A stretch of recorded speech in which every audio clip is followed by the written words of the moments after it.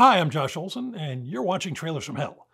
The indie film world exploded in the early 90s with the arrival of a whole bunch of gifted filmmakers and actors like Quentin Tarantino, Robert Rodriguez, Kevin Smith, Yahoo Serious.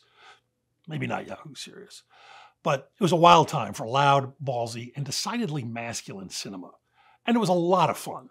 But honestly, the filmmaker who always stood out the most for me wasn't one of those guys or in fact one of any guys. It was Allison Anders, whose subtle, deft, and personal filmmaking style didn't draw too much attention to the fact that she was a gifted stylist and every bit the hardcore movie fanatic as those other filmmakers. She just hit it better. Gas Food Lodging came out in 1992, told the story of a family of women trying just to make it through life without destroying themselves or each other, and every time I watch it, it gives me something new. Uh, we should tell you that this trailer is not the original trailer for the film, unfortunately. There's no good versions of that. There's a really bad looking one on YouTube. So this is a nice HD trailer for the uh, recent Arrow release on Blu ray. Uh, I wish we could find the original trailer, but we couldn't. This will at least give you a sense of the film. And in fact, that Arrow Blu ray is amazing. So this is Gas Food Lodging. Gas Food Lodging tells the story of three women a mother and her two daughters, just struggling to make it through life and to find a way to live together in a trailer park in a dusty desert town in New Mexico.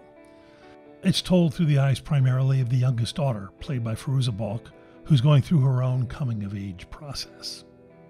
It's a remarkably sensitive, honest, and heartfelt film without an ounce of sentimentality, and don't be fooled, it bears virtually no resemblance at all to the book it's purportedly based on.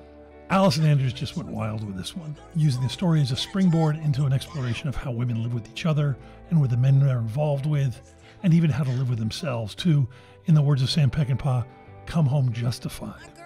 One of the many things that makes the film work so well is the fantastic casting.